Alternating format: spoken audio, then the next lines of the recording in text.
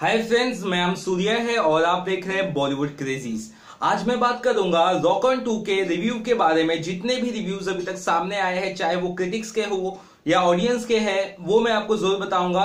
Rock on two आज release हो चुकी है और कहीं ना कहीं जो इसका रिस्पॉन्स है, एक अच्छा और एक डिसेंट सा रिस्पॉन्स आ रहा है नज़र में। और जहाँ तक रिव्यूज़ की बात करें तो सबसे पहले आपको पहले आपको बताता हूँ कैरेक्टर्स क्या है स्टोरी क्या है और जो उसके बाद जो भी रिव्यूज़ आए हैं क्रिटिक्स के, वो मैं बताऊँगा। और इम्पोर्टेंट बात आपको बता दूँ, मैंने फ़िल्म अभी तक देखी नहीं है। तो इसलिए ये मत मान के चलिए कि मैंने फ़िल्म देखी तो मेरा ओपिनियन दे रहा हूँ। मैं आपको वो ओपिनियन दे रहा हूँ जो ऑडियंस का अब तक रहा है क्रिटिक्स का अब तक रहा है इस फ़िल्म को लेकर। और उसके बाद हम जो म्यूज़िक रिव्यू मैंने देखा है कि म्यूज़िक में कितना म्यूज़िक कितना स्टार है, वो सब भी बताऊँगा आपको। तो एक एक करके सब चीज़ बताता हूँ। और एट द एंड जो भी रहेगा, आपको एक प्रॉपर इसका कंक्लूजन बताता हूँ। सबसे पहले स्टोरी के जो कैरेक्टर्स है, उसके नाम बता देता हूँ आपको। इस फ़िल्म में है फरहान अख्तर आई थिंक आदित्य का रोल प्ले कर रहे हैं जो। उसके अलावा अर्जुन रामपाल है। पूरब कोहली है, प्राची देसाई है, श्रद्धा कपूर है शशांक अरोरा है। तो कुछ कैरेक्टर्स है इस फ़िल्म में। दो नए कैरेक्टर्स आ गए, श्रद्धा कपूर और शशांक अरोरा शशांक अरोरा को आपने तितली में देखा और श्रद्धा कपूर को आपने एक विलन जैसी फ़िल्मों में देखा होगा। बहुत अच्छा कैरेक्टर की आशिकी टू में देखा होगा। तो ये दो कैरेक्टर्स नए आए हैं। श्रद्धा कपूर इस फ़िल्म में जिया शर्मा का रोल प्ले कर रही है। और आप काफ़ी हद तक कैरेक्टर से रूबरू हो। अगर आपने रॉकॉन देखी है तो अगर नहीं देखी भी मैं बता दूँ सिंगर्स बहुत रहते हैं फरहान अख्तर और अर्जुन रामपाल आई थिंक बजाने वाले बंदे रहते हैं, गिटार वगैरह, और पूरा पुलिस ड्रमर रहते हैं, और प्राची देसाई भी टीम मेंबर में ही रहती है वहाँ पे। और उसके अलावा जो श्रद्धा कपूर है, इसमें न्यू फाउंडिंग है इस फ़िल्म में रॉक ऑन टू में, और जिनके जो पिताजी रहते हैं, वो नहीं चाहते कि श्रद्धा कपूर कुछ इस तरह का फंकी या यूथफुल सॉन्ग मतलब गाना गाए। वो चाहते कि क्लासिकल म्यूज़िक मतलब करे मतलब क्लासिकल सिंगिंग करे। इस तरह से उनके पिताजी का एक सपना रहता है और कहीं ना कहीं उसके वजह से श्रद्धा कपूर को वो अच्छा नहीं लगता। श्रद्धा कपूर खुलना चाहती लाइफ में। लाइफ जीना चाहती है अपने ओन टर्म्स में। नॉर्थ ईस्ट की बंदी रहती है वो। तो नॉर्थ ईस्ट में आ, की बंदी रहती है वहाँ पे खुलना। मतलब वो चाहती है कि मैं गाना गाऊं मैं अपने ही हिसाब से गाऊं मेरे को जो पसंद है वो गाऊं ना कि मेरे पिताजी को जो पसंद है। तो इस तरह से एक रिबेलियस जो रहता है रिबेलियस चीज़ है वो इस फ़िल्म में दिखाई गई है। मतलब कैरेक्टर्स के बारे में आपको बता दिया। और स्टोरी जहाँ तक समझ में आती है स्टोरी ये है कि दो हज़ार आठ में भी अगर देखा हुआ तो मैजिक नाम का बैंड वापस से मिलता है। सभी कैरेक्टर्स मिलते हैं। एक एंथुजियाजम होता है, एक जो एक जो, एक क्रेजीनेस होता है ना, जब जब ग्रुप मिलता है आपके दोस्त भी कभी मिलते होंगे तो वो एक दिख रहा था रॉकॉन में। और रॉकॉन टू में उसकी थोड़ी सी कमी लगी है मतलब इंट्रोडक्शन कैरेक्टर ऑफ़ इंट्रोडक्शन जो होता है ना, अरे यार, कैसा जो मिलते हैं ना, उसमें थोड़ी सी कमी है एज अ क्रिटिक्स का मानना है। लेकिन उसके बाद मिलते हैं और कहीं ना कहीं स्टोरी की थीम में बता देता हूँ बेसिक थीम जो अभी तक पता चली, वो ये है कि रॉकॉन टू के रॉकॉन के वक्त कहीं ना कहीं आ, किसी बंदे की डेथ हो जाती है आई थिंक कंसर्ट होने कंसर्ट के टाइम पे तो उससे उसका जिम्मेदार जो फरहान अख्तर वो खुद को मानते हैं उसके बाद म्यूज़िक से अपना पत्ता काट लेते हैं हर जगह से दूर हो जाते हैं रिकल्सिव लाइफ जीते मतलब नॉर्थ ईस्ट के किसी गाँव में जाके एक अपनी एक अलग ही ज़िंदगी जीने लगते हैं। मतलब दुनिया से दूर हो जाते हैं।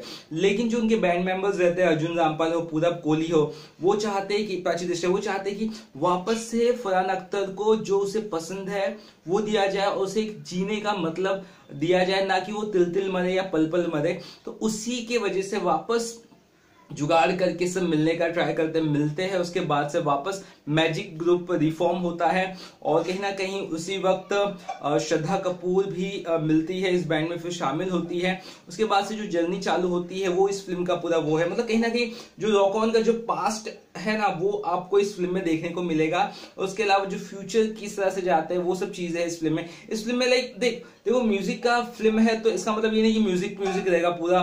पहले तो बता दो, इसका टाइमिंग दो घंटा बाईस मिनट की फ़िल्म है। तो दो घंटा बाईस मिनट से म्यूज़िक म्यूज़िक नहीं रहेगा। इमोशन ड्रामा म्यूज़िक का कोर थीम है। मतलब जितना दर्द होगा, उतना अच्छा म्यूज़िक होगा, ऐसा माना जाता है इन बंदे का। तो उस तरह से फ़िल्म में भी दिखाया गया इमोशनल ड्रामा बहुत सारी चीज़ें इस फ़िल्म में है। ट्रेलर से आपको पता चल ही गया होगा। तो ये कहीं ना कहीं थीम है वापस से फरहान अख्तर को एक लाइवली बनाने के लिए एकदम ज़िंदा बनाने के लिए आ, सभी दोस्त लोग मिलते हैं और कहीं ना कहीं जो जर्नी चालू होती है वही पूरी फ़िल्म फॉलो करती है दो घंटा बाईस मिनट की। एक थोड़ी जो नॉर्मल फ़िल्म आजकल हम जो देखते हैं वो दो घंटा तक की होती है उसे खत्म हो जाती है। दो घंटा बाईस मिनट कुछ ज़्यादा नहीं है। और फ़िल्म की जो अब स्टोरी की बात करता हूँ, मैं स्टोरी मतलब जो जो मैंने एक्सप्लेन की स्टोरी उतनी दमदार नहीं है क्रिटिक्स के हिसाब से, लेकिन ऑडियंस ने फ़िल्म को सराहा ऑडियंस का मिक्स रिस्पॉन्स है, आपको बता दूँ। कुछ लोगों ने कहा है कि श्रद्धा कपूर की एक्टिंग से वो उतने खुश नहीं हुए हैं।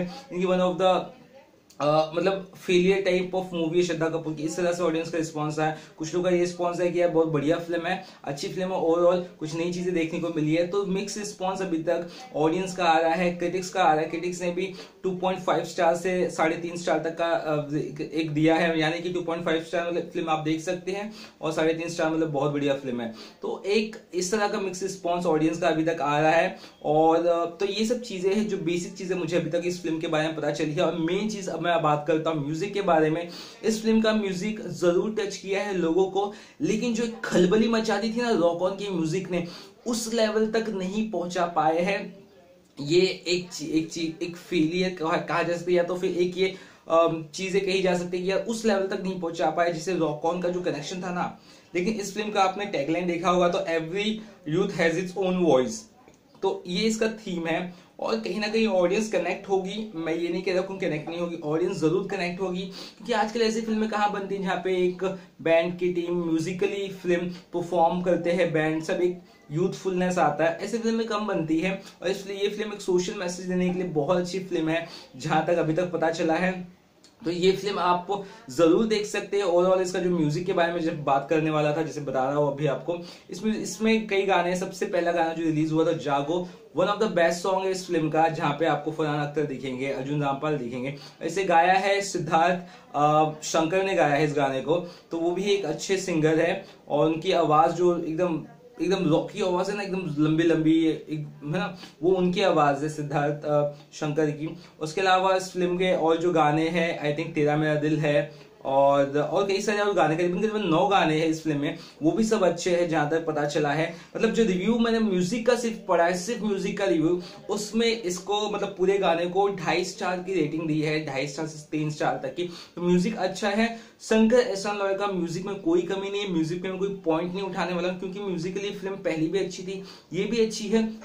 चीज़ें थोड़ी बहुत आगे पीछे होती है, उसमें कोई डाउट नहीं है। पहली फ़िल्म लेकिन डायरेक्ट की थी अभिषेक कपूर ने, ये फ़िल्म डायरेक्ट कर सुजा, सुजात सौदागर जो कोई काफ़ी एकदम पुराने डायरेक्टर नहीं बट स्टिल उन्होंने काफ़ी चीज़ें टेलीविज़न वर्ल्ड में की है डायरेक्ट की है but as a film I think उनकी पहली या दूसरी फ़िल्म है इतने बड़े लेवल की। तो रॉकॉन टू से बहुत ज़्यादा उम्मीदें है ऑडियंस को, क्योंकि इसका जो सीक्वल है करीबन करीबन आठ साल बाद आया, दो हज़ार आठ में हमने देखा था रॉकॉन को। तो रॉकॉन का जो एक बज है अफकोर्स अंदर था अफकोर्स ऑफकोर्स एक दिल में था कि यार रॉक ऑन टू होगी, किस तरह से होगी, कैसी होगी। एक्टर्स ने अपना एफर्ट दिया है बट कहीं ना कहीं जो जो एक, जो जो एकदम बोलते ना, पागल कर दे आपको, उस तरह का एक फील नहीं आया फ़िल्म में, जहाँ तक क्रिटिक्स का मानना है अभी तक का। जिस तरह से आगे क्रिटिक्स के रिस्पॉन्स आएँगे वो मैं आपको ज़रूर बताऊँगा जिस तरह से और खबरें इस फ़िल्म के बारे में आएँगी वो मैं ज़रूर बताऊँगा। और इस हिसाब से मेरे को अभी तक जिस हिसाब से लग रहा है ओवरऑल तो इसका कलेक्शन जो होगा करीबन करीबन छह से सात करोड़ तक पकड़ सकते हैं हम पहले दिन का, क्योंकि दो फ़िल्में और रिलीज़ हो रही है, साथ में आपको पता ही है। सॉरी रिलीज़ नहीं हो रही मतलब दो फ़िल्में ऑलरेडी रिलीज़ है, तीसरे हफ़्ते में शिवाय और एदिल है मुश्किल। ये दोनों फ़िल्में इसको ज़रूर टक्कर देगी रॉकॉन टू को। और तो इसलिए एक कड़ी चुनौती है रॉकॉन टू को आ, मतलब सिनेमा पर्दे पर। ये फ़िल्म आपको बता दूँ 2000 स्क्रीन पर रिलीज़ होगी इंडिया में। तो एक स्क्रीन काउंट तो बड़ा है इस फ़िल्म का। वो एक फ़ायदा ज़रूर देगा फ़िल्म का। फ़िल्म थोड़ी सी लेंदी है दो घंटा बाईस मिनट की। लेकिन ओवरऑल आई थिंक जो स्टोरी की बात जैसे कि मैंने आपको बताया कि थोड़ी एक एवरेज काइंड ऑफ़ स्टोरी है ट्विस्टेड स्टोरी है बहुत घुमा फिरा के इस तरह से है। तो वो थोड़ी सी एक आई थिंक आपको टाइम लगेगा समझने में बट आई थिंक ओवरऑल एक अलग जेनर की फ़िल्म है म्यूजिकल जेनर है, और मैं यही कोशिश करता हूँ या कोशिश लाइक मतलब मेरे को ऐसे ही लग रहा है कि मतलब ये फ़िल्म ज़रूर चलेगी और ऑडियंस ज़रूर पसंद करेगी क्योंकि थोड़ी सी हटके फ़िल्म है। आजकल की जो नॉर्मल फ़िल्में हो रही है लव प्यार, मोहब्बत, उस थोड़ा सा हटके, थोड़ा म्यूजिकल टच इसमें ज़्यादा है तो उस हिसाब से ये फ़िल्म चलेगी। और शंकर ऐसा लॉय का म्यूज़िक ज़रूर चलेगा। और सिनेमाटोग्राफी जहाँ तक अभी तक देखी है मैंने ट्रेलर्स में और गाने में तो सिनेमाटोग्राफी के हिसाब से मुझे ये फ़िल्म एक अच्छी लगी है। तो जिस हिसाब से ओवरऑल फ़िल्म का और भी रिस्पॉन्स आएँगे, वो आपको बताता रहूँगा। और ये जो मैंने आपको बताया पूरा अभी तक का जो क्रिटिक्स और ऑडियंस का रिव्यू है, कल से लेके आज तक का, वो मैंने अभी अभी तक आपको बताया। और कुछ और बॉलीवुड खबरें पता चलेगी तो मैं इसी तरह आपको बताता रहूँगा। और आपके कुछ सुझाव होंगे तो आपके कुछ सवाल होंगे तो आप बेझिझक पूछ सकते हैं। और आप कितने एक्साइटेड हो इस रॉकॉन टू के सीक्वल से, आप मुझे ज़रूर बताइए। चलिए, तब तक के लिए इतना ही कहूँगा। Bye bye